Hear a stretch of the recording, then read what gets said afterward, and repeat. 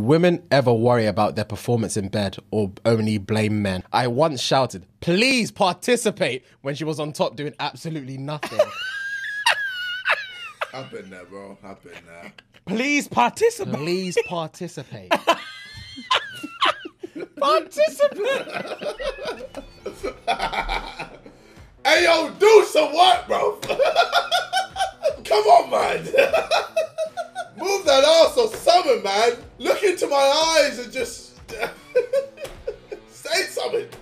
Grown. Fuck. Oh, please participate. That's fucking jokes.